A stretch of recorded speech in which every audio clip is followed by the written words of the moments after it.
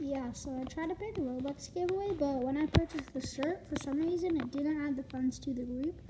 So I'm going to check and see if it works again, but if not, then I'll just have to wait for it to work again. Or maybe Roblox, or, or maybe Roblox just got salty and removed it, but I don't think that happened, but see y'all.